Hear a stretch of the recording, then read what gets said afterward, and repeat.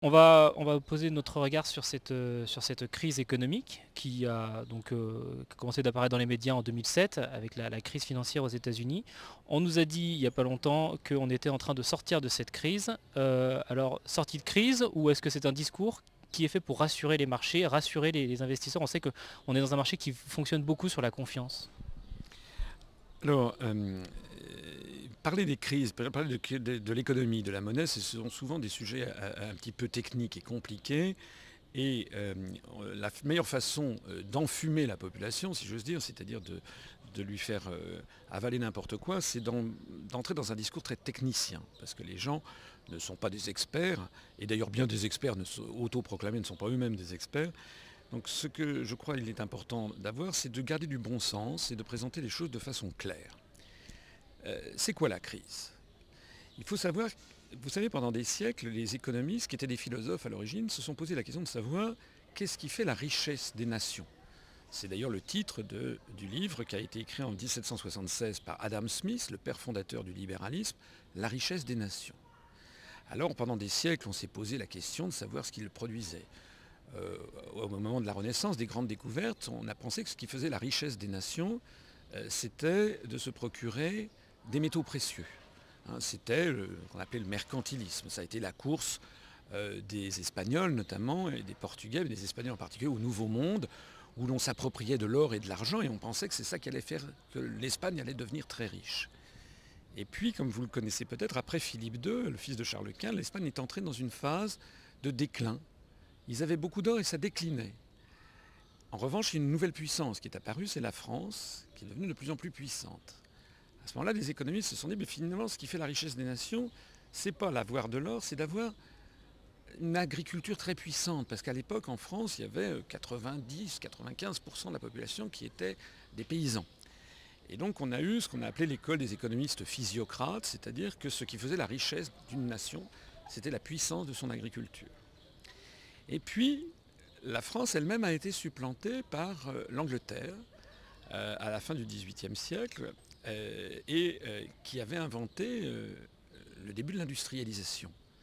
le début également de ce qu'on va appeler ultérieurement le capitalisme, c'est-à-dire des entrepreneurs qui mettent de l'argent, qui se fédèrent pour créer une société qui va faire des produits industriels. Donc on va avoir au XIXe siècle l'apparition de plusieurs pensées, la pensée libérale dont je parlais tout à l'heure, c'est-à-dire qui considère que ce qui fait la richesse des nations, c'était la théorie d'Adam Smith, c'est de laisser tout le monde chercher son propre profit personnel euh, et que sous l'effet d'une main invisible, comme disait cet économiste, eh on aboutira à un optimum collectif, chacun cherchant son profit personnel. C'est l'ensemble de la société qui va euh, progresser. Un économiste du début du 19e siècle, s'appelle Ricardo, lui, va dire que l'enrichissement vient également du euh, libre-échange. C'est-à-dire qu'il va y avoir des pays qui vont se spécialiser. L'Angleterre va fabriquer des draps, le Portugal va fabriquer du vin, il est mieux que le Portugal puisse fabriquer du vin, parce que si on fait du vin en Angleterre, on n'y arrivera pas beaucoup, ça ne sera pas bon. Et puis, il est mieux que ce soit l'Angleterre qui fasse des draps plutôt que le Portugal. Ils vont faire un échange et on aura donc ainsi une économie qui profitera à tout le monde. C'est l'apparition de l'économie du libre-échange. Avec le 19e et le 20e siècle, on a généralement convenu, je résume ça euh, pour vos auditeurs, on a généralement convenu que ce qui faisait la richesse des nations, c'était quand même d'abord et avant tout l'industrie. Depuis maintenant l'après-seconde guerre mondiale, et surtout depuis 1971, c'est-à-dire depuis que les Américains ont rompu les accords de Bretton Woods qui euh, euh, euh, les obligeaient à n'émettre du, dollar qu'à la condition qu'il soit couvert par de l'or, on a basculé dans une autre civilisation où on a vu monter en puissance le secteur des services. Alors ces services, ça peut être beaucoup de choses. Ça peut être par exemple la restauration, ça peut être le tourisme, mais ça peut être aussi euh, mettons les, transports, et ça peut être aussi euh, les services financiers au sens large, les banques, les assurances, etc. Les conseils, l'architecture, le marketing, euh, la publicité, tout ça, ce sont des services. Et progressivement, sous l'influence notamment de la pensée américaine, on a fini par considérer ben, que l'agriculture avait décliné au profit de l'industrie et qu'il était normal que l'industrie décline à son tour au profit des services.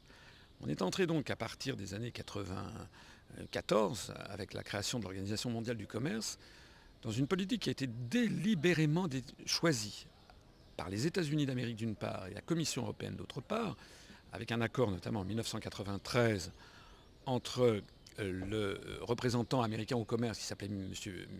Michael Cantor euh, et le représentant de la Commission européenne pour les négociations commerciales multilatérales et qui s'appelait Sir Léon Brittan, qui ont signé un accord, dans le dos d'ailleurs des gouvernements d'Europe, euh, qui s'est appelé l'accord de, Blair House, et qui a permis de débloquer les, négociations du cycle de l'Uruguay, de ce qu'on appelait le GATT, qui ont abouti aux accords de Marrakech du 15 avril 1994, créant l'Organisation mondiale du commerce. On est entré donc dans une nouvelle ère de l'histoire du monde et dans l'histoire de l'économie des pays occidentaux. C'est que désormais, on a considéré qu'il était très mal de protéger quoi que ce soit, en particulier de protéger notre agriculture, de protéger notre industrie, que c'était contraire à, une espèce de vision asymptotique, si j'ose dire, de vision idéale d'une concurrence au niveau mondial, et que désormais on n'allait plus se protéger du tout. L'idée sous-jacente de cette, de cette pensée consistait finalement à avoir, excusez-moi, une pensée un petit peu raciste. C'est-à-dire que on allait refiler le boulot euh, pénible, euh, les industries polluantes, les industries, euh, comment dirais-je, où il y a beaucoup de travail, etc., qu'on allait refiler ce travail à des pays très pauvres et très peuplés, comme la Chine ou l'Inde, qui sont des pays où le salaire est très très bas, où il y a aucune, les, protections sociales sont, quasi inexistantes, les retraites quasi inexistantes, les réglementations euh, euh, sanitaires et environnementales quasi inexistantes. Donc, qu'en réalité on allait faire faire tout ce sale travail, si j'ose dire, par des peuples en voie de développement qui seraient bien contents de le faire pour nous, et puis que les pays occidentaux se concentreraient sur une activité de service de plus en plus virtuelle en définitive, des métiers de la finance, c'est-à-dire des jeux, on jongle avec des chiffres, on jongle avec des virtualités électroniques, si j'ose dire. On a ainsi créé, à partir des années 94, un univers que je n'hésite pas à comparer un peu à une espèce d'économie négrière au niveau mondial, où on aurait un peu des esclaves, j'exagère le propos bien entendu, mais on fait faire vraiment à très bas coût de salaire de plus en plus de choses, et puis les pays euh, occidentaux, eux, se concentrent dans des activités purement spéculatives. Alors outre le jugement moral contestable que l'on peut porter sur le sujet, euh, ceci a entraîné deux effets qui me paraissent euh, le premier effet, c'est que les pays occidentaux sont en train de se vider de ce qui produisait la vraie richesse telle qu'elle avait été conçue au XVIIIe siècle et au XIXe siècle, c'est-à-dire l'agriculture et l'industrie. Actuellement en France, par exemple, nous perdons 800 à 1000 emplois industriels par jour ouvrable. 220 000 emplois industriels perdus par an. Au cours des 12 dernières années, la France a perdu le quart des heures travaillées dans l'industrie. Ça veut dire que non seulement nous voyons le chômage se développer, mais non seulement ça, mais nous voyons également notre savoir-faire industriel notre puissance technologique disparaître. Il n'y a pas que la France, c'est vrai également des États-Unis, encore plus. Qu'est-ce qui est encore fabriqué aux États-Unis de nos jours? Il y a encore des, avions et puis des armements, de l'arme, euh, mais pour le reste, ils ne fabriquent plus de voitures, de moins en moins. Ils ne fabriquent pas d'ordinateur, ils ne fabriquent pas de téléphone, ils ne fabriquent pas de télévision, ils ne fabriquent pas d'un... Euh, donc tous les produits désormais vont être concentrés, la fabrication industrielle, dans quelques pays du monde, et en particulier, comme vous le savez, en Chine, où l'on fabrique désormais euh, tout, à terme tout. Hein. Euh, j'explique dans certaines de mes conférences que désormais, on fait fabriquer en Chine les Airbus, parce que nous avons un euro qui est beaucoup trop élevé par rapport au dollar, la monnaie chinoise est corrélée au dollar, et, par ailleurs, les Chinois euh, demandent des transferts de technologie qu'on leur accorde, parce que sinon ils n'achètent pas les avions, euh, et c'est un marché très très porteur. Donc désormais, il y a une usine à Tianjin, par exemple en Chine, où cette année, au moment même où je vous parle, euh, ils fabriquent un Airbus par semaine, de A à Z. Et ça va, c'est une montée en puissance. Alors ils fabriquent des Airbus, ils fabriquent des voitures. Toutes les entreprises d'automobiles européennes se sont toutes délocalisées, ont toutes créé des usines en Chine. Euh, en nouant d'ailleurs un partenariat chacune avec un partenaire chinois. On n'a pas du tout une industrie européenne. Ça n'existe pas. Ça, n'existe que dans le, discours, dans la propagande des partisans de la construction européenne. Euh, Renault euh, fait une alliance avec un, constructeur chinois, Peugeot fait une alliance avec un constructeur chinois, Daimler-Benz fait une, alliance avec un autre constructeur chinois, etc. Ils fabriquent pas seulement des Airbus, des, voitures, ils fabriquent, bah, vous le savez, des jouets. Quand arrive Noël, si vous allez dans des grandes surfaces en France, si vous regardez, 95% des jouets sont fabriqués en Chine. Ils fabriquent les meubles. Euh, si vous allez chez Ikea, vous apercevez que la, quincaillerie, euh, les, casseroles sont made in China. Ils fabriquent euh, les téléphones portables de plus en plus, plus de 50% maintenant des téléphones portables fabriqués dans le monde sont fabriqués en Chine, les téléviseurs, les, téléviseurs, les ordinateurs, etc. Alors maintenant on en arrive à la crise. Le problème qu'il y a, c'est que comment est-ce que les pays occidentaux, les États-Unis les premiers, vont-ils pouvoir maintenir leur niveau de vie s'ils ne produisent plus rien de concret? On va arriver euh, à la crise du crédit. Voilà. On en arrive donc à un univers où ce qui est la production de richesse, alors les États-Unis ont, quelques années d'avance sur nous, d'avance si j'ose dire, c'est d'avance dans la catastrophe. C'est-à-dire que les États-Unis ne sont plus devenus que des pays, qu'un pays de plus en plus, j'exagère, je force un peu le trait, mais de plus en plus un pays de purs consommateurs. C'est-à-dire que l'économie américaine, quand on se gargarise du fait que, tiens, l'économie américaine a augmenté son PNB de 4%, 5% au cours de l'année, il faut bien comprendre ce que signifie l'augmentation du PNB. Ce n'est pas de l'augmentation de la production industrielle. Le PNB, vous savez, il n'y a rien de plus menteur qu'une statistique.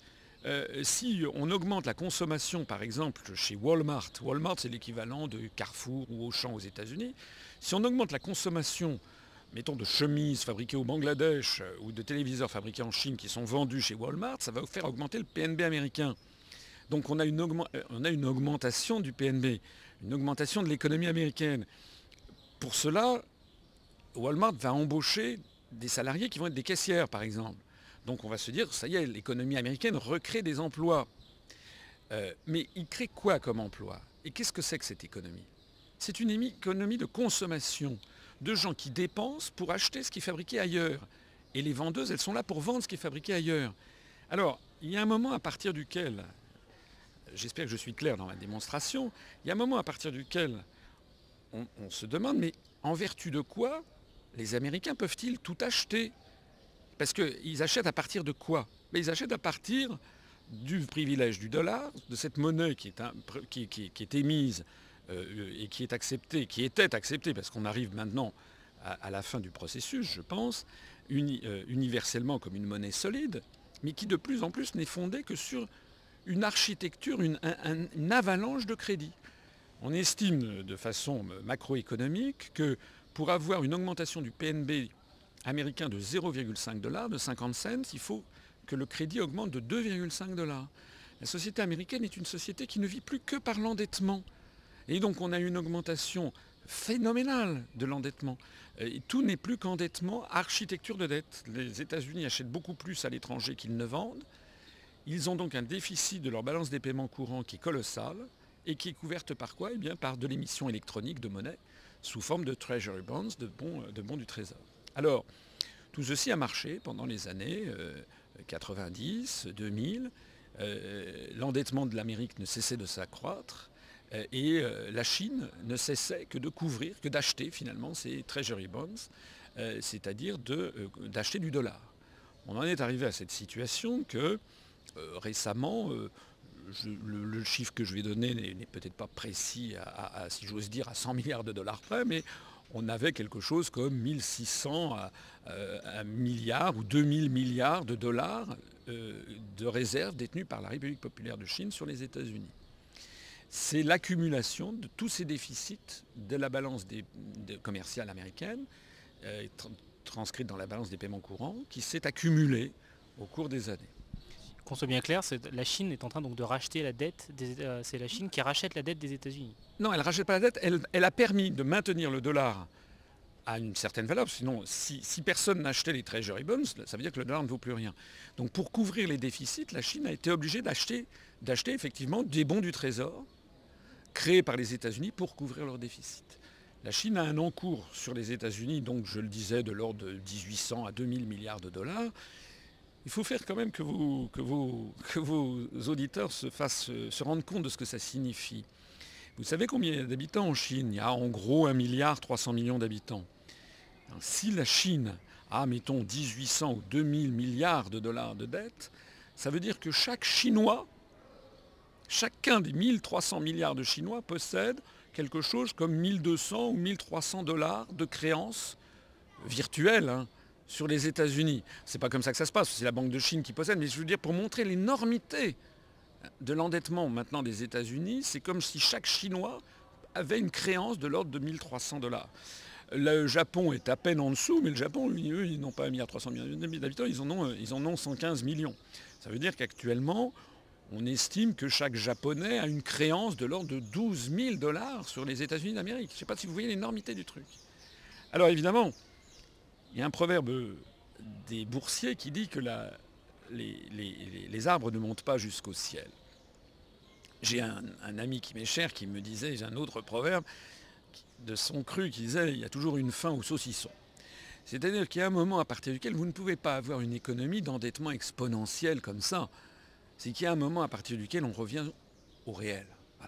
Et ce qui s'est passé avec la crise, alors j'entre pas dans l'architecture, la, crise des subprimes et autres, c'est que d'un seul coup, on s'aperçoit que le système n'est plus viable.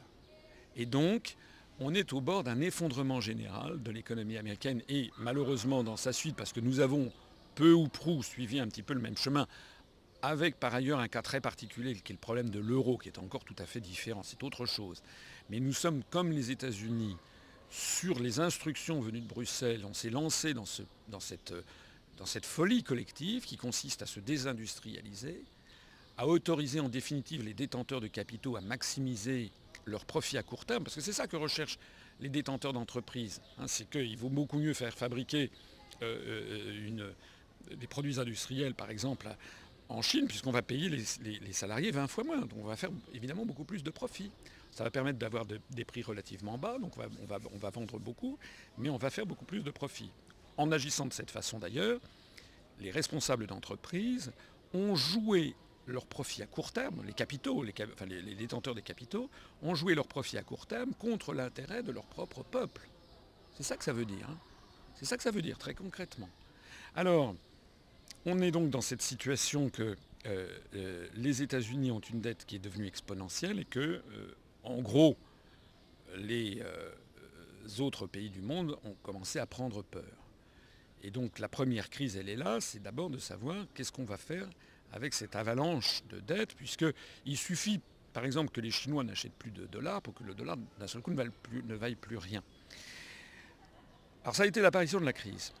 Maintenant, comme vous l'avez compris, cette crise, enfin je ne veux, pas, euh, veux pas affoler les gens. Mais le problème, c'est que personne ne sait comment on va en sortir. Ce n'est pas la même chose qu'une crise comme on en a connu dans le passé, qui était une crise de surproduction, ou une crise, même en 1929, si vous voulez, lorsqu'il y a eu la grande crise, euh, il, y avait, euh, il y a eu un effondrement, il y avait eu un échafaudage de crédit, mais l'Amérique en 1929, elle avait encore son outil industriel. Hein, on a connu des crises en 1973, on a connu des crises, la crise liée mais on avait encore un outil industriel. Alors que désormais, je vous l'ai dit tout à l'heure, les pays occidentaux, l'Amérique en premier, la France ensuite, a perdu de plus en plus son outil industriel. Nous continuons à, à le perdre. Donc la question qui se pose, c'est encore une fois, si on n'a pas recours à ce crédit exponentiel et puis il y a une fin à ce crédit, qu'est-ce qui va faire la richesse des nations occidentales? Et c'est là le grand mystère et auquel personne n'a de réponse. Alors qu'est-ce qui nous attend collectivement? Si on continue sur cette direction, euh, ça va être, euh, je pèse mes mots, mais euh, s'agissant de la France, on va transformer la France en Venise, c'est-à-dire un, pays musée. Un pays musée, il n'y aura plus qu'on fera visiter ce qui a été une gloire passée, euh, on recevra des touristes, des centaines de millions de touristes venus du monde entier, des Chinois, des Indiens, etc. On leur fera visiter le château de Versailles, donc ça procurera des emplois. Il y aura des emplois de service, euh, il y aura des cafetiers, des restaurateurs, mais le reste. L'enseignement qu'on a vu de la crise à partir de 2008 aux États-Unis, c'est que l'éclatement, si j'ose dire, de la bulle, de la bulle de crédit a amené, comme vous l'avez vu, des grandes entreprises financières comme Lehman Brothers à, tomber en faillite. Et qu'est-ce, qui se passe quand un énorme établissement financier tombe en faillite? Il se passe qu'il ne reste plus rien. Il reste des bureaux vides. C'est pas comme lorsqu'une entreprise industrielle, par exemple, est, en faillite pour une mauvaise gestion, elle peut être rachetée par un autre, mais vous avez toujours les chaînes de production automobile. Ça, c'est des choses qui valent de l'argent. Il faut, des, investissements pour fabriquer des avions, pour fabriquer des automobiles. Ce sont des dizaines de milliards d'euros ou de, dollars qu'il faut pour avoir euh, un process industriel. Mais pour avoir une banque, vous n'avez besoin de rien. Vous avez besoin simplement d'avoir des bureaux, et puis des lignes électriques, et puis euh, des ordinateurs qui valent pas grand-chose au bout, et puis vous avez la matière grise, c'est tout. Et donc lorsque Lehman Brothers fait faillite, eh il ne reste plus rien. Alors c'est pour ça que, euh, en réalité, on a voulu faire croire que la crise était surmontée. Mais qu'est-ce qui a été proposé en définitive par les autorités mondiales, et les autorités notamment américaines et européennes? Là, si on vous suit bien, pour l'instant, on est donc dans une idée où il y a une gigantesque crise de la dette privée. Et ce qui s'est passé, c'est qu'on est passé, on a transversé cette dette privée dans le secteur public. Oui, on peut dire les choses comme ça, mais on peut dire surtout en termes plus macroéconomiques que euh, euh, pour maintenir le système, eh ben, on, a trouvé on a trouvé une façon de continuer à augmenter l'endettement. Alors il y a les, idées de quantitative easing, il y a les idées maintenant, on en arrive à cette situation absolument invraisemblable c'est que le premier créancier étranger euh, des États-Unis, ce n'est plus la Chine, ce sont les États-Unis eux-mêmes qui font de la cavalerie, c'est-à-dire ils vendent, ils des, Enfin, on croirait, si vous avez des connaissances historiques, euh, on croirait, revenu sous la régence avec la, faillite de la Banque de l'As. On a fait en fait une gigantesque escroquerie. D'ailleurs, depuis maintenant plusieurs années, je crois que ça a commencé à partir de, 2000, de 2005 ou de 2006, euh, les autorités américaines ne publient plus une statistique qui est quand même une des grandes statistiques mondiales, qui est M3, c'est-à-dire la masse euh, totale de dollars émis. On ne sait plus combien de dollars sont émis dans le monde. Parce que les dollars, il faut bien que, vous, que vos auditeurs comprennent que les dollars, ce n'est pas seulement les billets. le, billet de dollars, le billet vert que l'on connaît, ne représente même pas 1% des dollars émis. Hein. L'extraordinaire masse de dollars, c'est de la monnaie électronique sous forme ben, de, création de, monnaie électronique. Les bons du trésor, c'est même dématérialisé, sans compter tout ce qui est les architectures financières du style, les crédits de default swap, dont on ne sait plus très bien toute cette ingénierie financière où on fait, on bâtit des virtualités sur des virtualités, euh, même les experts s'y perdent. En fait, on, vend... Euh, pour dire la chose qu'on est dans l'escroquerie, on vend, on vend de la poudre aux yeux sous un dehors extrêmement technicien. Alors, pour relancer la machine, eh bien, les États-Unis n'ont rien trouvé de mieux eh que de relancer de nouveau le crédit. Voilà, on est dans cette situation. C'est pour ça que je ne suis pas le seul à le dire, hein, mais j'essaie de l'expliquer d'une façon, j'espère que c'est le plus compréhensible et le plus pédagogique possible. Sans, je, n'aime pas utiliser des mots euh, techniques parce que souvent les gens ne comprennent pas. Donc j'essaie d'avoir un discours euh, voilà, le discours de, l'homme de la rue qui n'est pas expert. Euh, en réalité, euh, les dirigeants du monde occidental ne savent pas résoudre le problème qu'ils ont eux-mêmes créé en faisant disparaître des pays occidentaux, il en reste encore un petit peu, mais en faisant disparaître des pays occidentaux ce qui faisait la production de richesse réelle, c'est-à-dire la production agricole et surtout la production industrielle. Voilà. Parce que quand vous créez, quand vous êtes dans des jeux d'écriture dans une banque, eh bien ce n'est pas de la production euh, réelle, c'est, nous sommes dans le, dans le virtuel. Ça veut dire qu'à un moment, il va falloir relocaliser l'industrie, relocaliser les, moyens de production? Absolument. Je, voudrais, euh, si j'ai quelques instants avec vous, euh, attirer l'attention par exemple des auditeurs sur un point qui me paraît important pour qu'ils comprennent ce qui se passe. c'est, je reviens sur l'idée des statistiques. Euh, imaginez que vous ayez un, jeune, euh, un jeune, Américain qui vit à, Los Angeles, euh, qui fait un voyage au Bangladesh. Bon. C'est un jeune Américain qui est dynamique, qui est entreprenant, et il va à Dhaka, c'est la capitale du Bangladesh, il va voir une usine qui fabrique des chemises. Et c'est dans cette usine, avec des conditions de travail épouvantables, où on fait travailler des enfants qui ont 14-15 ans, et qui sont payés 1 dollar par, par jour, et encore, même pas. Euh, on fabrique des chemises euh, à la chaîne. Euh, et chaque chemise est fabriquée pour un dollar. Et ce jeune Américain fait, passe un accord avec cet entrepreneur, dans la banlieue de la capitale du Bangladesh, et lui dit, moi je vais revenir aux États-Unis, je vais vous passer commande et vous allez me livrer des chemises. L'accord est passé. L'Américain revient à Los Angeles, il crée son entreprise. Il, donc il s'installe dans un bureau, il achète un ordinateur, il se connecte à Internet. Il envoie un courriel euh, à l'entrepreneur du Bangladesh en lui disant je vous passe commande de 20 000 chemises à 1 dollar. 20 000 dollars. Et il fait un virement de 20 000 dollars. Je ne parle pas des frais de transport, bon, je simplifie l'exemple. Euh, ces chemises vont arriver aux États-Unis.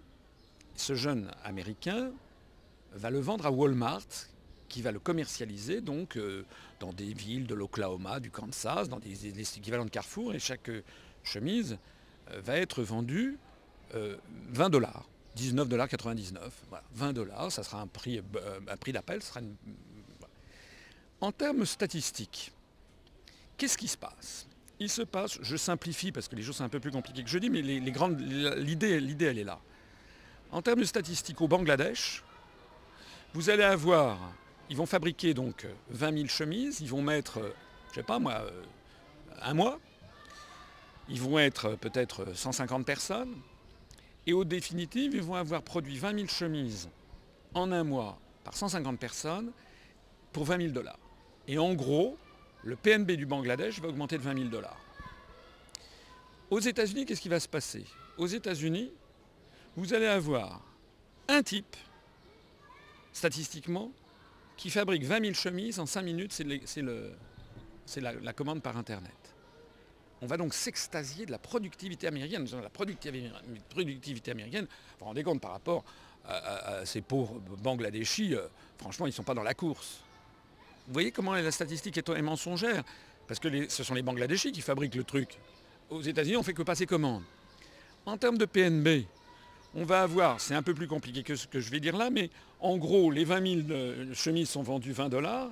Ça va donc faire quelque chose comme 400 000 dollars. Alors ce n'est pas tout à fait vrai parce que ça sera la valeur ajoutée, mais on va, en gros, le PNB américain va augmenter de 300 000 dollars.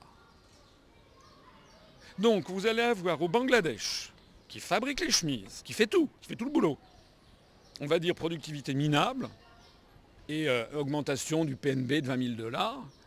Aux États-Unis, qui ne fabrique rien, qui ne fait que passer commandes, on va dire productivité fabuleuse et augmentation du PNB de 400 000 dollars ou 300 000 dollars. Donc vous voyez comment, comment, les statistiques sont absolument trompeuses et comment on, vit sur un rêve. Hein. ça n'est pas, il ne faut pas croire l'augmentation du PNB. Cette augmentation, c'est une augmentation de virtualité.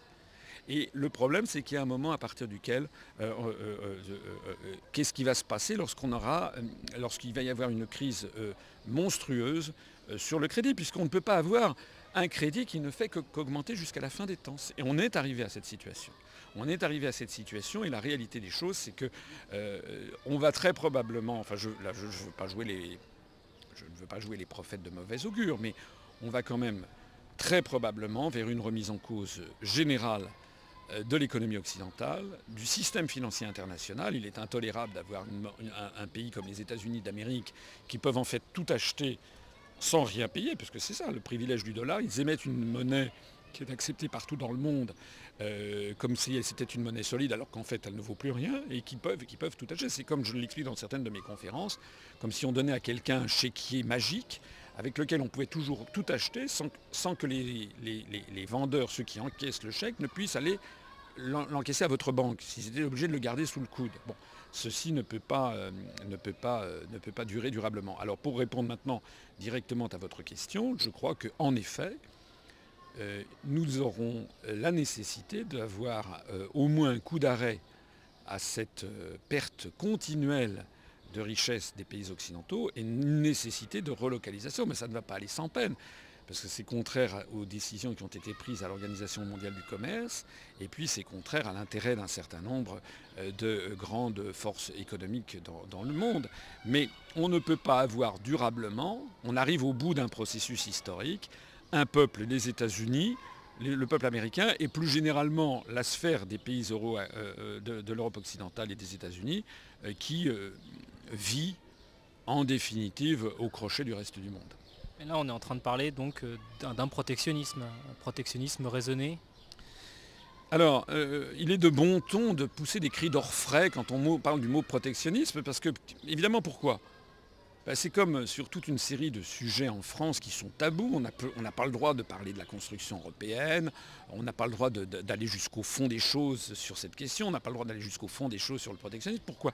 Bah, Parce que la quasi-totalité des grands médias en France a été en fait investie par justement des, forces financières qui sont les grands bénéficiaires à court terme du système qu'elles ont installé.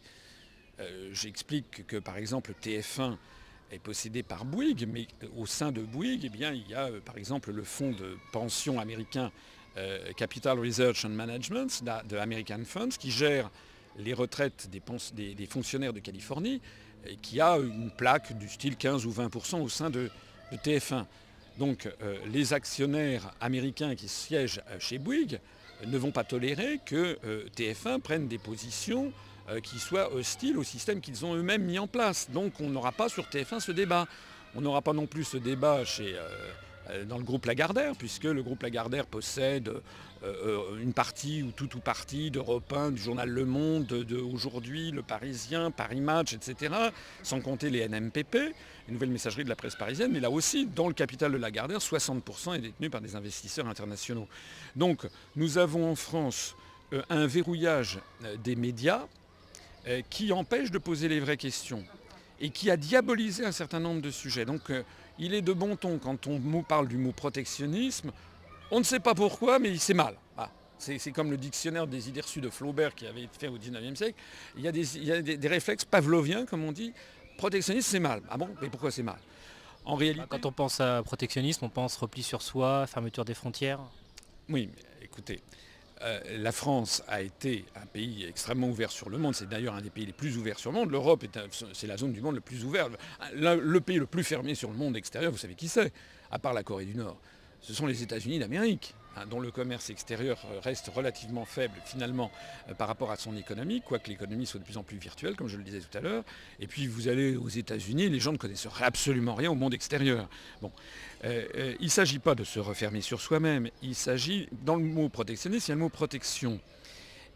Maurice Allais, prix Nobel d'économie, décédé récemment, qui d'ailleurs n'avait pas droit à la parole dans les médias français. Nous avions le seul prix Nobel français d'économie qu'on ait jamais eu, Maurice Allais, a été barré pendant des années, jusqu'à ce qu'il meure d'ailleurs, de tout accès aux médias. C'est quand même un peu fort, non? Et il disait lui-même qu'il y avait un bon et un mauvais protectionnisme. Ce qu'il appelait le bon ou, un bon et un mauvais libre-échange. ce qu'il appelait le bon libre-échange, c'est de mettre en concurrence un pays avec des pays qui sont un peu comparables. Par exemple, euh, mettre en concurrence la France avec euh, l'Italie, avec euh, l'Allemagne, avec l'Angleterre, avec le Canada, euh, avec des pays qui ont un petit peu le même type de population, le même type de niveau de vie, etc. Ça c'est bon parce que ça stimule la concurrence entre des pays euh, qui ont, qui ont un peu les mêmes règles du jeu, soyons clairs. Donc ça c'est bon. C'est comme si vous avez une classe de fort en maths, c'est bon qu'ils soient en concurrence. Bon. Mais si on met en concurrence, alors c'est là où Maurice Allais disait qu'il y a un mauvais libre-échange, si on met en concurrence la France avec les Chinois, là on aboutit à... Il ne peut plus y avoir de concurrence. Il ne peut plus y avoir de concurrence parce que les Chinois sont euh, quoi 20 fois plus nombreux que les Français, 65 millions dans un cas, 1 milliard 300 millions dans l'autre, et ils sont en gros allez, 15, fois moins, 15 euh, fois moins rémunérés. Et le jour où les Chinois gagneront autant que les Français n'est pas demain la veille. Ou plus exactement, ce qui se passera, c'est que c'est les, Français qui vont finir par gagner autant que les Chinois, c'est-à-dire de voir ce qui a d'ailleurs déjà commencé, là, c'est l'appauvrissement général de la population.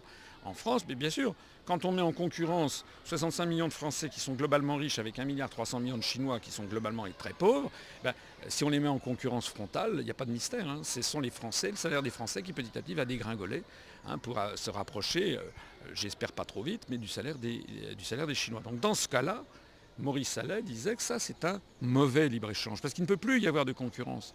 Pour reprendre mon expression, mon autre métaphore de tout à l'heure, si vous mettez des forts en maths dans une classe, c'est très bien parce qu'il va y avoir une émulation entre les forts en maths.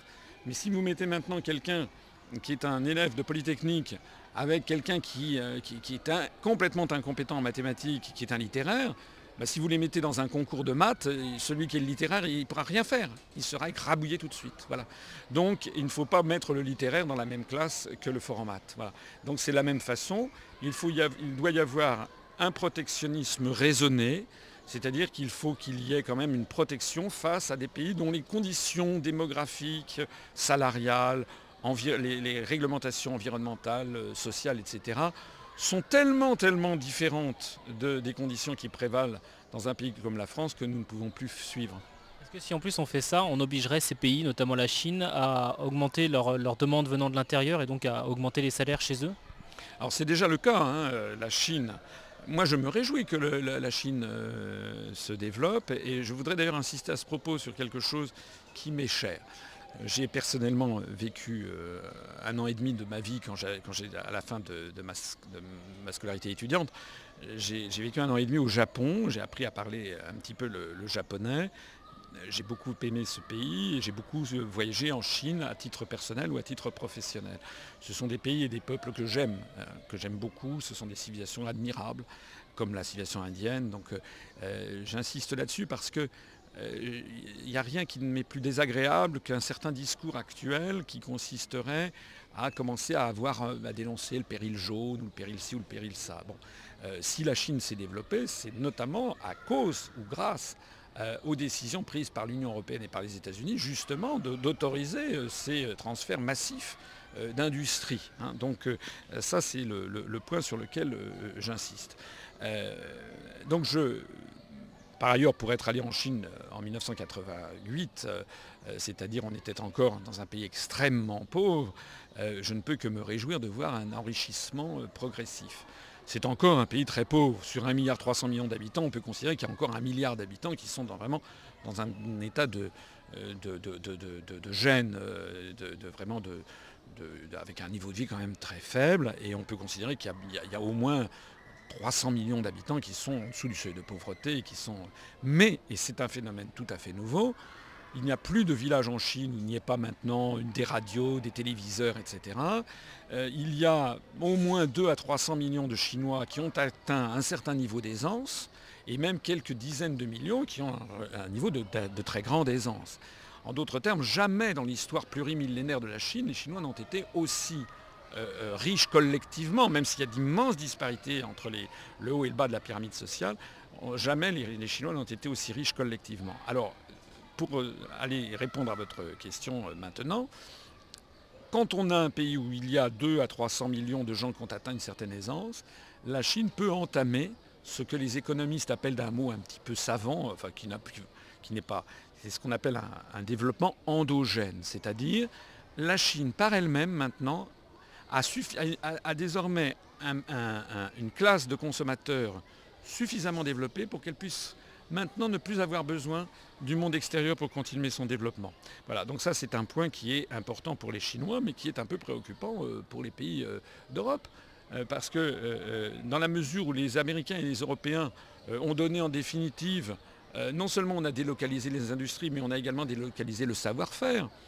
Les 400 plus grandes entreprises industrielles mondiales occidentales, européennes, américaines ou japonaises, ont été contraintes, si elles voulaient prendre pied sur le marché chinois, qui est un marché ô combien prometteur en termes de consommation, elles ont été contraintes par les Chinois qui sont des gens euh, habiles, ce sont des stratèges nés, il y a des, des Russes de guerre chinoises, de Sun Tzu le premier penseur, vous savez, le premier stratège militaire, il vivait à l'époque de Socrate, en moins 500 avant Jésus-Christ. Donc les Chinois ont demandé que les entreprises occidentales ou japonaises créent en Chine des euh, centres de recherche. Donc les 400 ou 500 plus grandes entreprises maintenant ont créé des centres de recherche. Au même moment, les Chinois ont décidé de mettre le paquet, si j'ose dire, sur la formation d'ingénieurs euh, ou de financiers dans tous les domaines. Euh, c'est pour ça que je reviens à ce que je disais tout à l'heure, la pensée qui a été à l'origine dite de cette mondialisation, qui consistait à croire qu'on avait filé le sale boulot, si j'ose dire, le boulot déqualifié, le boulot euh, euh, polluant, le, boulot n'ayant pas besoin de, comment dirais-je, de, beaucoup de, de, matière grise, qu'on a filé ça à des peuples comme les Chinois et les Indiens, pendant que les peuples blancs, disons le mot, euh, se concentreraient sur des activités de service, c'est une pensée raciste, et donc comme toute pensée raciste, c'est une pensée bête. Parce que les Chinois, excusez-moi, mais c'est une des plus grandes civilisations du monde. C'est comme l'Inde. Les Indiens ont inventé la numération décimale de position, les Indiens ont inventé le jeu d'échecs, les Chinois ont inventé l'imprimerie plusieurs siècles avant Gutenberg, ils ont inventé le papier-monnaie, ils ont même sous la dynastie Tang. Donc on a affaire à des très grandes civilisations. Et en plus de ça, dans la sphère chinoise, nous sommes sous la pensée confucéenne. Et vous savez que Confucius, qui vivait lui aussi à l'époque de Sun Tzu ou de Bouddha ou de, Socrate, en, gros en moins 500 avant Jésus-Christ, la pensée confucéenne valorise l'apprentissage, le savoir, le respect des anciens, le respect de la culture et, le travail intellectuel. Donc nous avons maintenant un peuple entier en Chine qui produit alors je n'ai pas les chiffres à l'esprit parce que ça dépend si on parle des ingénieurs, si on parle des licenciés, si on parle des bacs plus 5 et ci et ça. Donc il y a des problèmes de, de, comparabilité entre les systèmes éducatifs. Mais actuellement, on estime que la Chine produit en gros 10 fois plus d'ingénieurs que les États-Unis d'Amérique. Eh bien oui, ils sont 1,3 milliard d'habitants et maintenant tout le monde est lancé là-dedans. Ce qui veut dire que les, Occidentaux qui pensaient qu'on allait avoir une suprématie intellectuelle sur ces peuples euh, sont, tombés tout simplement dans une pensée euh, grossièrement euh, raciste et stupide, de la même façon que les Indiens produisent aussi des ingénieurs en grand nombre. Donc il y a effectivement, on peut anticiper sans, risque de se tromper, qu'à la fin de cette décennie, la Chine sera déjà devenue la première puissance économique mondiale. Euh, pas en termes de PNB par habitant, ils sont 1,3 milliard, les Américains sont 305 millions, donc le niveau de vie des Américains restera supérieur, mais je crois, et je parle avec le sens de l'historien, je crois que nous assistons à un phénomène historique d'une très très grande importance, une importance millénaire, c'est qu'on est en train de refermer euh, une grande parenthèse qui s'était ouverte au début du XVe siècle, aux alentours de 1420, avec le roi de Portugal qui s'appelait Henri le Navigateur, vous connaissez peut-être, qui est ce, roi qui était fasciné, il allait au Cap Saint-Vincent, il voyait au bout de ses terres, il voyait l'océan Atlantique, et il était fasciné par les découvertes. Et donc c'est lui qui est le premier à demander à des marins d'aller euh, découvrir. Et les marins portugais ont longé les côtes d'Afrique. Vous savez qu'à l'époque, on croyait, on savait que la Terre était ronde, mais à l'époque, on croyait euh, qu'on ne pouvait pas s'approcher de l'équateur parce qu'on pensait que la mer bouillait et que l'air était tellement chaud qu'on était carbonisé. Et donc euh, les marins portugais ont commencé à longer les côtes du Maroc et se sont rapprochés des côtes du Sénégal et puis ont découvert le golfe de Guinée puis ils se sont rendus compte qu'il bah, faisait chaud, mais on pouvait encore survivre. Et puis c'est comme ça que les, Portugais ont fini par atteindre le bas de l'Afrique, ont découvert euh, le cap de Bonne-Espérance, le cap des Anguilles, et puis ont découvert ensuite la route des Indes par, euh, euh, par l'océan Indien, et qu'ils ont été les premiers à, créer des colonies qui ont donné l'Angola, le Mozambique, à Goa en Inde, Vasco de Gama, etc. Et c'est à partir de ce moment-là que l'Occident d'un seul coup, c'est la Renaissance, va conquérir le monde, avec à la fois des choses positives et puis aussi des massacres, euh, l'esclavage, la colonisation. Enfin bon, on n'est pas là pour euh, réécrire toute l'histoire, on n'est pas là pour porter un jugement, on est là simplement pour dire qu'en termes historiques, c'est à partir du XVe siècle que l'Occident, d'un seul coup, l'Europe va, va connaître une expansion fabuleuse et va mettre sous sa coupe en réalité l'ensemble du monde l'Amérique latine, l'Afrique, l'Asie. Et tout ceci va atteindre son sommet avec les empires coloniaux du 19e siècle, et j'allais dire son prolongement encore plus euh, avec la suprématie euh, américaine et occidentale euh, après la Seconde Guerre mondiale, où le monde entier est sous la coupe de l'Occident. Et c'est ça, je le crois profondément, c'est cette parenthèse-là, enfin cette parenthèse, c'est cette période historique-là qui est en train de se refermer avec après 600, 600, 600 ans. Et c'est désormais la fin de la suprématie du monde blanc sur le monde, avec un monde que j'espère personnellement, et je crois, euh, plus équilibré. Il ne faut pas avoir peur du tout. Enfin, non, moi j'ai pas peur des Chinois. Euh, je connais, bien la Chine. C'est un, euh, je crois qu'on va, enfin en tout cas il faut l'espérer, vers un monde du XXIe siècle et du troisième millénaire, un monde apaisé où, les peuples doivent, un peu comme, puisque nous sommes sur une radio chrétienne, je me permettrai de filer une métaphore un petit peu, un petit peu évangélique, c'est les peuples et les nations. C'est-à-dire que les peuples et les nations doivent coexister sans que l'un d'entre eux euh, ou l'une d'entre elles veuille imposer euh, son, sa, vision du monde, veuille imposer ses valeurs à, l'ensemble des, nations. Il faut donc faire pour le, monde occidental une espèce de travail de deuil, pour parler en termes psychanalytiques, sur cette volonté de toute puissance mondiale qui est apparue avec euh, l'Empire romain, hein, à la fin, avec la création de l'Empire romain, cette espèce de volonté impériale de dominer le, monde. Euh, la Chine, par exemple, n'a pas eu, euh, alors je sais qu'il y a des gens qui ne sont pas d'accord avec moi quand je dis ça, mais la Chine, historiquement, elle a été, elle s'est considérée comme un empire, bien sûr, mais son empire a toujours été un empire sur les marges le Xinjiang à, l'ouest de la Chine. Xinjiang en japonais, ça veut dire, en chinois, pardon, ça veut dire nouvelle frontière. C'est la dernière frontière. Le Tibet, le Tibet est sous suzeraineté chinoise depuis le XIIe siècle, hein, avant même que la Bordenne ne devienne française.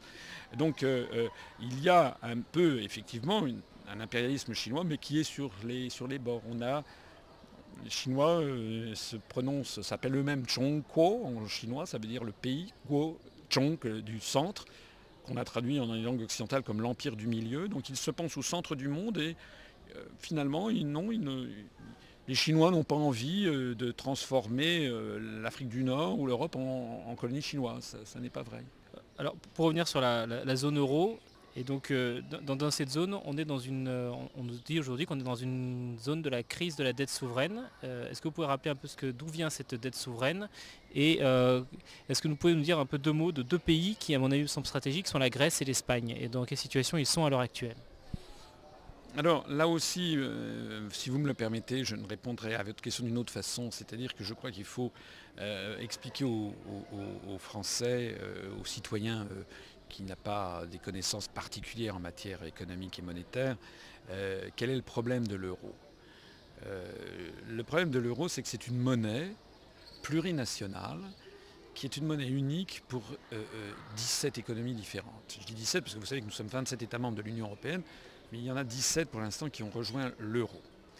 Une monnaie unique, ça veut dire que l'on a un taux d'intérêt unique, qui est le taux le taux de refinancement des banques euh, par la Banque Centrale Européenne.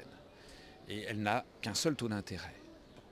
Donc, euh, euh, on a donc un taux d'intérêt qui doit, qui doit être satisfaisant pour 17 économies dont les besoins sont totalement différents. je vais prendre un, exemple. lorsque, par exemple, l'Irlande se portait bien il y a quelques années, elle se portait bien, elle avait des taux de croissance très importants, enfin importants, du style 5% par an, ce qui est très élevé. Euh, ces taux de croissance étaient élevés. Pourquoi? Bah, Parce que d'abord, l'Irlande bénéficiait des transferts financiers des autres pays d'Europe. Et deuxièmement, euh, il y avait de gros investissements, notamment venus d'Amérique du Nord, euh, dans des monteurs, comment dirais-je, d'ordinateurs. Par exemple, vous savez, Dell, les ordinateurs Dell sont largement montés en, en Irlande, et puis des centres d'appel. L'Irlande avait un taux de croissance très élevé, craignait de l'inflation. Donc l'Irlande avait besoin d'un taux d'intérêt élevé pour casser les tendances inflationnistes. Et puis comme elle avait un très fort taux de croissance, quand on monte le taux d'intérêt, ça, ralentit la croissance, mais comme elle avait un très fort taux de croissance, il était important pour elle euh, de, casser les tendances inflationnistes. Au même moment, la France et l'Italie, elles, avaient un taux de croissance très faible. Et donc, elles avaient besoin au contraire d'avoir un taux d'intérêt plus bas. Que fait la Banque Centrale Européenne dans ce genre de circonstances? Et ça n'est pas de la faute de M. Trichet, de M. Duesenberg ou de M. Tartemuche qui, succédera. La Banque Centrale Européenne, quiconque serait à la place des, dirigeants de la BCE, se trouve confronté au fait qu'ils ont certains pays qui voudraient un taux d'intérêt fort et d'autres qui en voudraient un faible. Et donc, ben, ils font quoi? Ils, ils, prennent tout simplement une cote mal taillée entre ces contraintes et donc quelque chose qui est à peu près à mi-chemin. Voilà. C'est pas très compliqué hein, de concevoir ça. Le problème, c'est que pour les économistes qui ont réfléchi à la question, c'est quelque chose qui aggrave la situation dans tous les cas. L'Irlande, ayant, un très fort, ayant des tendances inflationnistes, avait besoin d'un taux d'intérêt élevé, on lui met un taux d'intérêt plus faible que ses besoins. Donc ça augmente les tendances inflationnistes. La France ou l'Italie, qui avait été en quasi-récession, avaient un besoin d'un taux d'intérêt très faible, on leur mettait un taux d'intérêt trop élevé par rapport à leurs besoins, ça aggravait la récession. Donc ça, c'est un des premiers phénomènes euh, euh, comment dirais-je, logique, hein, un problème irréfutable en termes logiques, c'est qu'un taux d'intérêt unique pour 17 économies différentes ayant des besoins différents amène nécessairement à des phénomènes procycliques, comme disent les économistes, c'est-à-dire des phénomènes qui aggravent la situation dans tous les cas. C'est déjà un, très mauvais point. Deuxièmement, un taux d'intérêt unique, vous savez que les taux d'intérêt rétroagissent sur la valeur externe du, change de la monnaie. Si vous avez un taux d'intérêt élevé, ça attire des capitaux étrangers, donc les gens vont venir s'investir en zone euro, donc acheter de l'euro, et donc l'euro va être désiré sur les marchés financiers, monétaires, et donc l'euro va monter. Si on monte les taux d'intérêt, l'euro monte par rapport aux autres monnaies, notamment par rapport au dollar. Si on baisse, ça va baisser. Or, comme il est déjà très difficile d'avoir un taux d'intérêt qui convienne à 17 économies différentes, la Banque Centrale Européenne n'a aucun objectif de change externe de sa monnaie. Hein, ça, c'est très important à comprendre. D'ailleurs, le seul objectif qui soit fixé par l'article 282 du traité sur le fonctionnement de l'Union européenne qui concerne la Banque centrale, le seul objectif qui soit fixé à la Banque Centrale Européenne par les traités européens, c'est de, maintenir la stabilité des prix, c'est-à-dire de lutter contre l'inflation qui théoriquement ne doit pas dépasser 2% par an en zone euro. Donc, comme ils ont déjà fort à faire avec cet objectif, et à avoir un taux d'intérêt qui convienne ou qui, soit le moins mauvais possible pour 17 économies, on ne peut pas en plus y ajouter un autre objectif qui est celui du taux de change externe. Donc il n'y a pas d'objectif de taux de change externe de telle sorte que l'euro est la seule grande monnaie mondiale dont les autorités monétaires ne gèrent pas le taux de change extérieur. Alors qu'est-ce qui se passe? Ben, Ce qui se passe, c'est ce qui s'est produit maintenant depuis plusieurs années, c'est-à-dire que le dollar est miné sourdement par les déficits énormes de sa balance des paiements courants dont je parlais tout à l'heure. Donc le dollar potentiellement est orienté à la baisse. Les Chinois, comme je le disais tout à l'heure, rachètent du dollar pour que le dollar ne s'effondre pas, parce que c'est ce qui permet à eux de vendre aux États-Unis et donc au même moment de développer leur appareil productif pour ensuite entamer un développement endogène en, Chine lorsque le moment sera venu et il est en train d'arriver. Donc les Chinois corrèlent la valeur du yuan, de la monnaie chinoise, au dollar. Et donc, qui, dans cet univers-là, est le dindon de la farce des déficits de la balance des paiements courants, c'est les Européens qui n'ont pas de gestion de leur taux de change.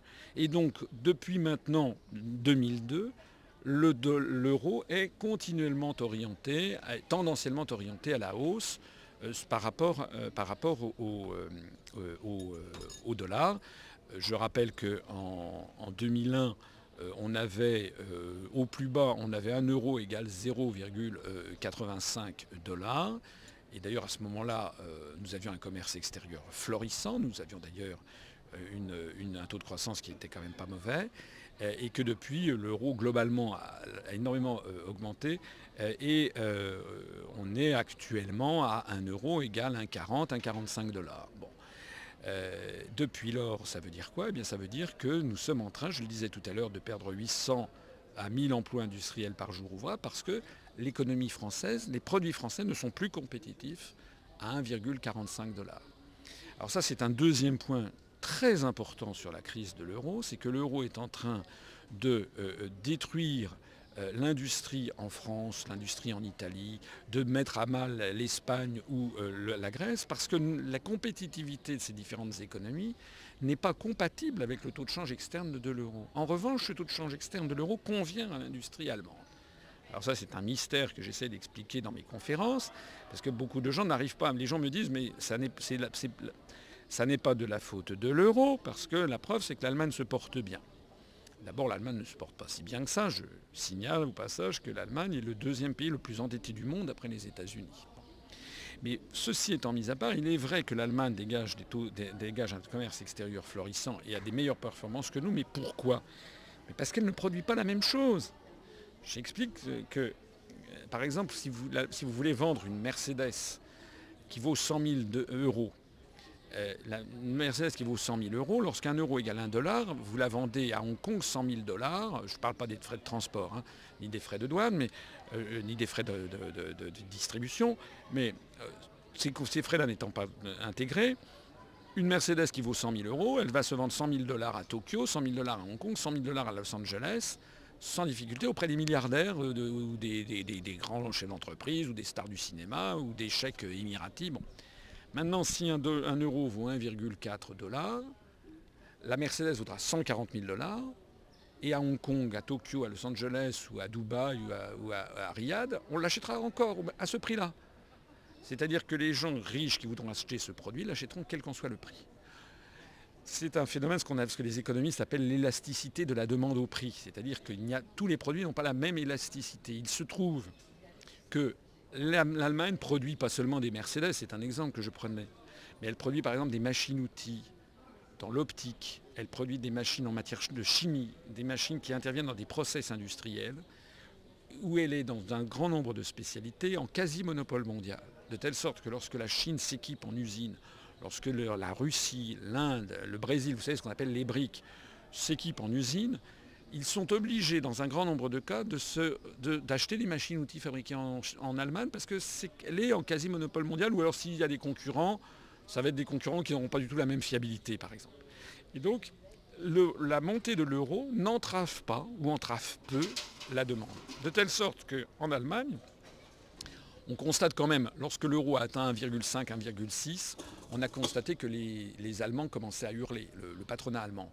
Mais le patronat allemand a commencé à hurler lorsqu'on atteint 1,5, 1,6. On l'a vu hein, aux alentours de la mi-2008, on avait atteint 1 euro égale 1,62. Parce que là, on atteignait un niveau tel que du coup, à, son tour, l'Allemagne n'était, plus compétitive ou, les produits qu'elle avait étaient vraiment trop chers pour, pour permettre des investissements. Donc ça veut dire que la compétitivité externe de l'industrie allemande peut être évaluée aux alentours de 1 euh, euro pour 1,40, 1,50 dollars. Alors que nous, nous avons vu que pour la France, par exemple, le commerce extérieur français a été équilibré entre 2002, euh, sur l'année 2002, au moment, en gros, où 1 euro égale 1 dollar. Ça veut dire que nous, la compétitivité intrinsèque de l'économie française, c'est 1 euro égale 1 dollar. L'économie allemande, c'est 1 euro égale 1,40 dollars. Quand 1 euro égale 1,40 dollars, comme actuellement, qu'est-ce qui se passe? Il se passe que ça ne gêne pas ou très peu l'industrie allemande. Ils encaissent, les, entreprises allemandes font des bénéfices considérables.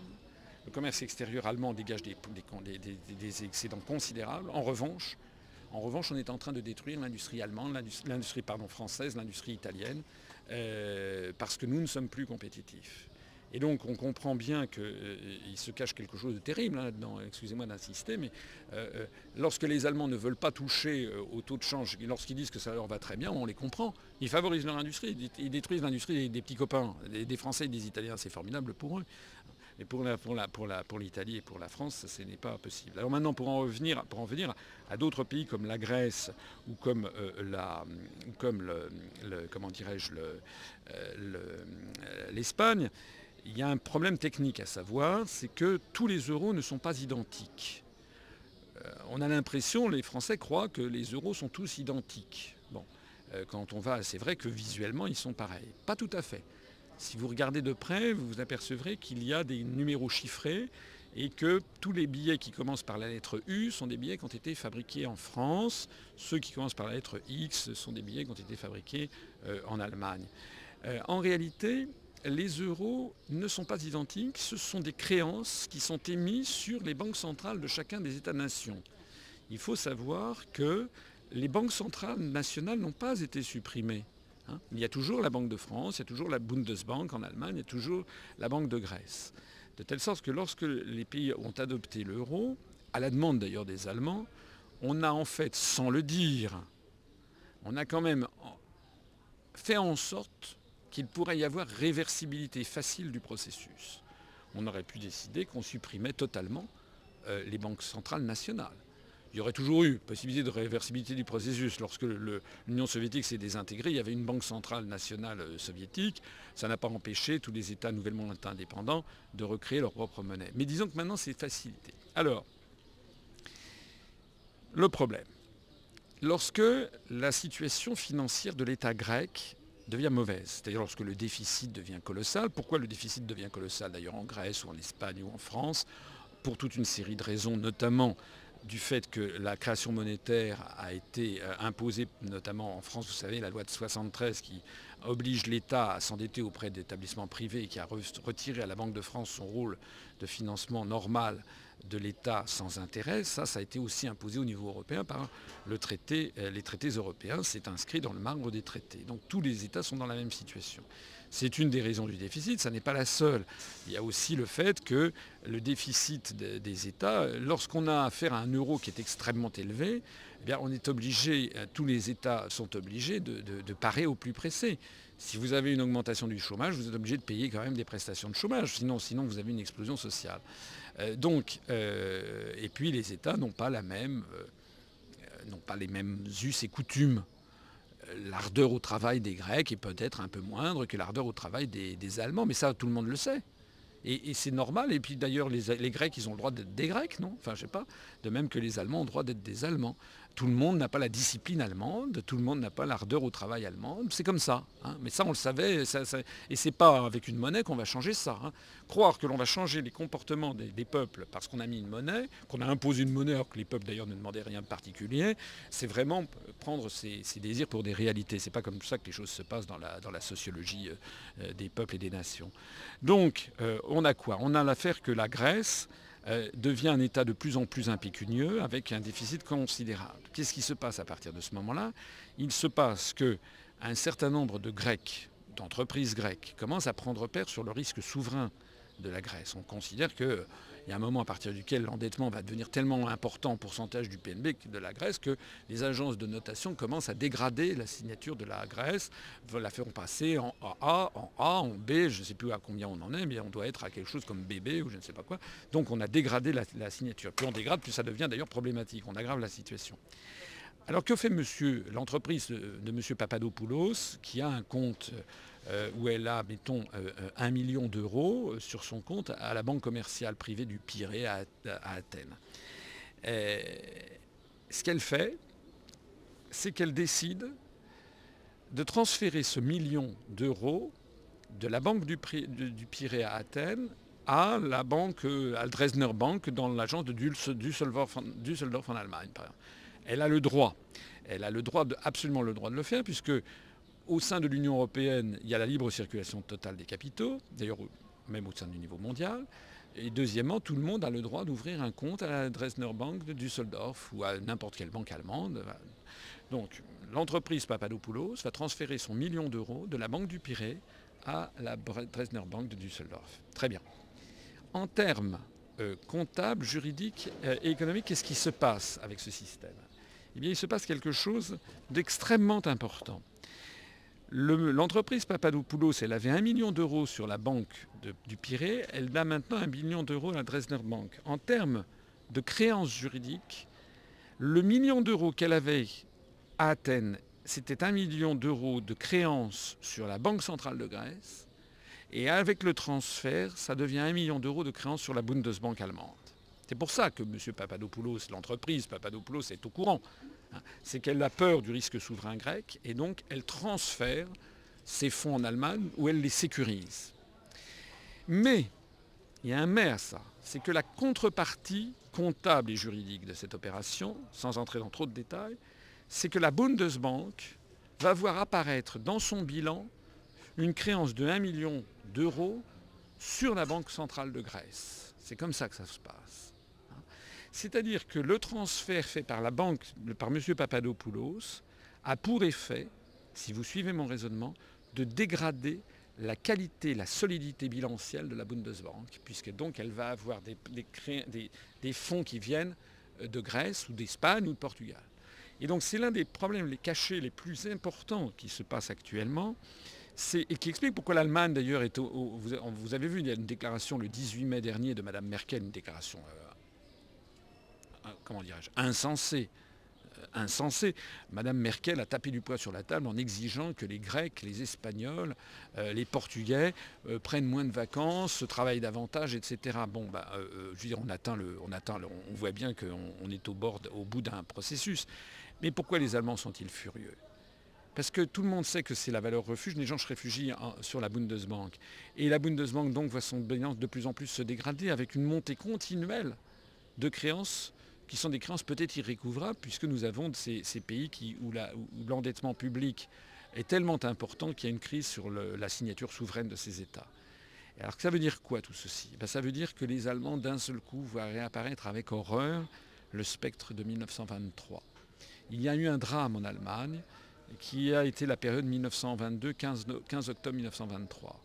À l'époque, il y avait la Reichsbank qui a, euh, comment dirais-je, vu, c'est déjà arrivé dans le monde, mais euh, avec, ça a été spectaculaire. Euh, vous vous rappelez peut-être, c'est-à-dire que à partir du printemps 1923, les choses se sont emballées. La monnaie a commencé à, commencé à avoir une inflation à 2-3 chiffres extraordinaires. L'hyperinflation. De l'hyperinflation. Donc on avait, on partait le matin. C'était tellement vrai qu'il fallait il commençait à y avoir des marques qui ont été émises dans chaque ville. Parce que le temps qu'on imprime les billets, il y avait déjà. Bon, on, a, terminé, il y avait des billets de 50 milliards de marques, hein, de Reichsmark. On allait acheter une baguette de pain, valait plusieurs milliers de milliards de marques. Euh.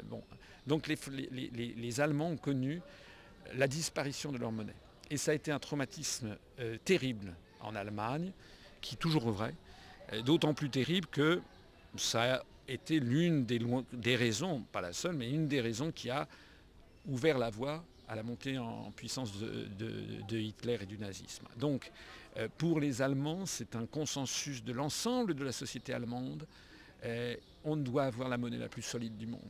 c'est quelque chose qui fait un consensus, l'objet d'un consensus. C'est comme un peu là en France, la laïcité par exemple, où, euh, c'est quelque chose qui, qui rallie 90%, 95% de la population allemande.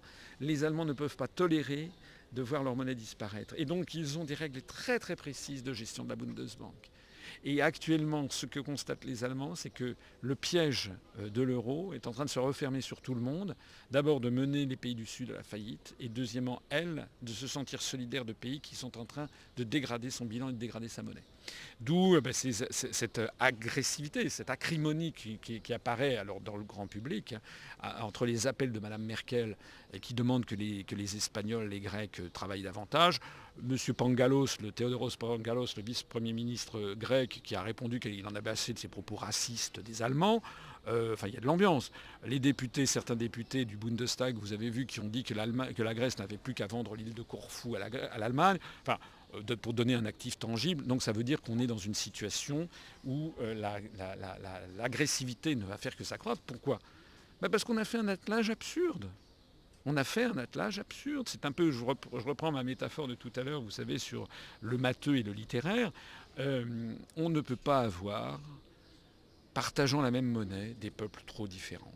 c'est comme ça. C'est d'ailleurs, puisque je suis encore une fois sur une radio chrétienne, je citerai un passage euh, qui est très intéressant, c'est dans euh, le premier livre des Maccabées, dans le chapitre, je crois que c'est dans le chapitre 13, lorsque, à un moment, Antiochos VII Épiphane, c'est dans la dynastie des Séleucides, explique que, comme il est contraint de se battre avec des forces qui menacent son propre pays, il est obligé de faire la paix intérieure avec le peuple juif, et il convoque euh, Simon, le, grand ethnarque des Juifs, le grand responsable des Juifs, il dit euh, maintenant nous, faisons la paix, je, te rends la liberté, je t'autorise à, à, battre une monnaie à ton effigie. Et donc euh, c'est dans la Bible elle-même que l'on trouve cette idée que ne désavouerait aucun prix Nobel d'économie de nos jours, selon laquelle une monnaie, c'est un peuple et une nation. Voilà. C'est ça la grande réalité de l'histoire du monde. Je fais une conférence d'ailleurs où je montre que de très très nombreuses monnaies plurinationales ont existé. Elles ont toujours explosé parce que justement c'est la diversité des peuples et des nations pour parler euh, comme dans l'Ancien Testament. Mais alors à ce moment-là, la, question qu'il faut, qu'il faut se poser, c'est à qui profite l'euro? Ceux qui ont eu l'initiative de l'euro. C'est pas moi qui le dis. Hein. c'est un, ce sont les, les documents confidentiels défense du gouvernement américain qui ont été déclassifiés à l'été 2000 par l'administration Clinton par application de la loi américaine, euh, ce sont les Américains eux-mêmes. Ce sont les Américains qui ont exigé à partir des années 60 que l'Europe bâtisse une monnaie unique. Je renvoie les lecteurs qui seraient dubitatifs, les auditeurs qui seraient dubitatifs, je les renvoie à l'article de Ambrose Evans Pritchard, qui, est journaliste d'investigation au euh, Daily Telegraph, qui est un des journaux les plus sérieux du monde, un, des plus sérieux de, Grande-Bretagne, qui est allé consulter ces documents confidentiels de défense de l'administration américaine. Pourquoi ça? Mais parce que, alors là, on touche du doigt un autre grand, grand sujet, c'est que euh, à l'origine de la construction européenne, on explique aux Français toujours que c'est Jean Monnet et Robert Schuman, mais euh, Jean Monnet et Robert Schuman eux-mêmes agissaient à la demande des Américains et accessoirement aussi du Vatican de Pie XII de l'époque. Et euh, pourquoi ça? Ben Parce que les Américains euh, et le Vatican avaient peur, euh, on peut les comprendre d'ailleurs, de la menace soviétique. après les accords de Potsdam, Yalta, Téhéran, des conférences de Téhéran Potsdam et Yalta, on avait eu donc un partage de l'Europe des zones d'influence, et donc l'Union soviétique, comme je ne vous apprends rien, avait donc mis la main en termes d'influence sur tous les pays de l'Est. Et puis, comme avait dit Churchill en 1948, un rideau de fer s'était abattu sur une partie de l'Europe. Et donc euh, les États-Unis d'un côté, le Vatican d'autre part, voulaient lutter contre euh, l'influence du communisme. Euh, dans la revue Civilta Cattolica de 1954 du troisième trimestre, qui est une revue officieuse du Vatican, le père jésuite Messinelli, je crois, qui était un des porte-parole officieux de Pie justement, avait fustigé le vote de la France par l'alliance des députés gaullistes et MRP euh, avait fustigé donc, le, refus de la France d'entrer dans la communauté européenne de défense. Et à l'époque, donc, ce, père jésuite si proche du, Saint-Père de l'époque, de Pie XII, avait expliqué euh, que c'était, euh, comment dirais-je, que la France avait ruiné par un vote hâtif des années de, de, défense et que si on continuait comme ça, rien ne résisterait, je cite de mémoire, au tourbillon niveleur du communisme russe. Donc nous sommes à l'époque de la guerre froide et donc les États-Unis et le Vatican, chacun pour ce qui le concerne, le Vatican par l'intermédiaire de la chrétienne démocratie en, Allemagne, en Italie, le MRP en France, donc a poussé à la construction européenne. Et les États-Unis aussi. Mais eux, c'était pour avoir un glacis, comme disent les géopoliticiens, les géopoliticiens un glacis américain en Europe. Voilà. Et pour aller dans cette direction, les Américains ne se sont pas arrêtés là. C'est-à-dire que les Américains ont considéré de plus en plus que la construction européenne allait leur servir de faire en réalité une zone d'influence américaine qui persisterait après la chute du communisme et qui même s'étendrait. Et c'est ce qui se passe. Hein. Le, communisme s'est effondré et les Américains ont continué continuellement. Alors je sais que c'est un, c'est quelque chose qu'on ne doit pas dire dans les médias, paraît-il. On doit faire croire aux Français que la construction européenne aurait été une invention française ou autre. Ce sont des balivernes. Donc en réalité, les Américains, tout au long des années 60 notamment, ont poussé aussi à la, création d'une monnaie unique européenne en, pensant que ceci serait favorable à, justement à ligoter tous ces pays dans une espèce de système en réalité ingérable, délibérément ingérable, dont ils seraient les seuls à pouvoir tirer les ficelles n'y a pas que moi qui l'ai dit. Je renvoie les, auditeurs qui sont intéressés par cette question, d'abord à se reporter, je l'ai déjà dit, au dossier que j'ai fait euh, sur De Gaulle et l'Europe sur le site internet dont je parlais tout à l'heure, mais aussi tout simplement à la conférence de presse de Charles de Gaulle du 15 mai 1962, où il expliquait justement que l'Europe aurait besoin d'un fédérateur extérieur, donc lui s'y opposait, et que ce fédérateur extérieur ne serait pas européen, donc ne pourrait être qu'américain. Alors on a donc euh, cette monnaie unique européenne qui, contrairement, j'entends des gens qui parfois qui disent les, Américains se réjouiraient de voir l'euro exploser, les Américains se réjouiraient de voir euh, l'Europe exploser, mais c'est le contraire exact de la réalité toute la politique, toute la stratégie américaine, on le sait, tous les services d'influence américains n'ont cessé d'aller dans le sens inverse. D'ailleurs, qui est-ce qui réclame Alors là, j'ai toutes les citations à l'appui. Qui est-ce qui, a réclamé l'entrée des pays de l'Est dans l'Union européenne et dans l'OTAN? C'est le président George Bush, notamment George W. Bush, notamment à son discours de l'Université de Varsovie le 15 juin 2001. Qui est-ce qui a réclamé, qui est-ce qui réclame l'entrée de la Turquie dans l'Union européenne? Ce sont les Américains, parce qu'il s'agit d'avoir le flanc sud. Il s'agit pour les Américains de faire coïncider le périmètre de l'OTAN et le périmètre de l'Union européenne pour encercler la Russie. Donc par exemple, ça c'est une des questions qui est un des tabous aussi de la société française. Les gens se posent gravement la question de savoir pourquoi est-ce qu'on doit ou non faire entrer la Turquie dans l'Union européenne. Mais ça n'est pas la bonne question à se poser. La bonne question à se poser, ça devrait être de dire pourquoi le problème se pose-t-il de faire entrer la Turquie et pas le problème de faire entrer la Russie? Qui est-ce qui a décidé que la Turquie devrait entrer dans l'Union européenne et pas la Russie Alors que de toute évidence, la Russie est un pays européen alors que la Turquie euh, est un pays euh, dont, le caractère européen est pour le moins extrêmement discutable. Bon. Donc euh, ça veut bien dire qu'il y a des forces qui sont derrière. Ces forces, j'insiste, ce sont les États-Unis qui ont décidé de faire coïncider le plus possible le périmètre de l'OTAN et le périmètre de l'Union européenne. Voilà. Ils l'ont encore réclamé avec euh, l'entrée, je disais, des pays de l'Est dans l'OTAN. Euh, voilà. Donc, euh, qui est-ce qui a intérêt à, maintenir l'euro? Les États-Unis. Pour une raison simple, hein, c'est que si l'euro explose, moi ma conviction est faite, hein, d'ailleurs je ne suis pas le seul, je le dis d'ailleurs depuis maintenant plus de dix ans, les gens qui me connaissent savent que je n'ai jamais varié dans mes analyses et elles ont le mérite d'être confirmées par les événements.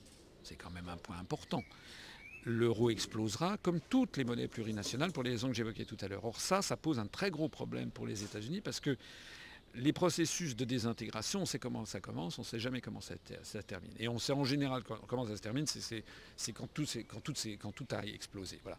Euh, et essayer de maîtriser un processus de désintégration, c'est très très difficile. C'est comme essayer de maîtriser euh, l'explosion d'une bombe, bombe A, hein, qui est un processus de fission. Lorsque l'Union soviétique a commencé à se désintégrer, les autorités soviétiques ont tout essayé pour essayer de garder un petit peu de... Euh, euh, il y a des processus euh, de libération, libérateurs des énergies qui ont fait que l'empire des tsars s'est désintégré et qu'on a vu réapparaître des pays comme l'Ukraine qui avait disparu en tant qu'État souverain depuis plusieurs, plusieurs siècles. Voilà, donc ma votre question. Voilà. Donc ce sont les États-Unis. Donc je pense que ceux qui ont d'abord et avant tout intérêt, en termes géopolitiques, ce sont les États-Unis. En termes euh, pratiques, euh, bien entendu, un certain nombre d'entreprises, un certain nombre d'élites occidentales, d'élites européennes euh, qui ont fait leur carrière là-dessus, évidemment, n'ont pas envie de se désavouer. mais je ne dis pas que M. Trichet est un Américain. quoi qu'il ait dit, là, vous savez, quand il avait pris ses fonctions à la BCE, il avait dit I am not a Frenchman la première décision qu'il avait prise. Donc il voulait surtout pas qu'on pense qu'il était français. Il y a toute une série d'élites euh, des médias, d'élite du journalisme, d'élite de, de, la politique, etc., tous les, responsables politiques, journalistiques, etc., qui ont appelé les Français notamment à voter oui à l'euro, euh, n'ont pas envie d'être désavoués par les événements. Donc euh, il y a des gens qui refusent de regarder la réalité en face. Mais vous savez que ce que disait Nietzsche, hein, il parlait des faits et de leur formidable éloquence. Face aux faits, face ce sont des choses qui échappent à la volonté des hommes. Hein. Je répète, j'insiste, de toute l'histoire de l'humanité, ça remonte, je vous l'ai dit, au premier livre des Maccabées, toutes les monnaies plurinationales de l'histoire ont toujours explosé.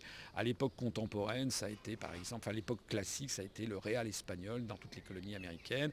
Euh, après, il y a eu le kourouche de l'Empire ottoman. Après ça, vous avez eu euh, la couronne de l'Empire austro-hongrois. Après ça, vous avez eu euh, toutes les monnaies coloniales. Vous avez eu à la fin, récemment, le dinar yougoslave, le rouble soviétique, la couronne tchécoslovaque. Vous avez eu voilà, la, la piastre indo-chinoise dans l'Empire français.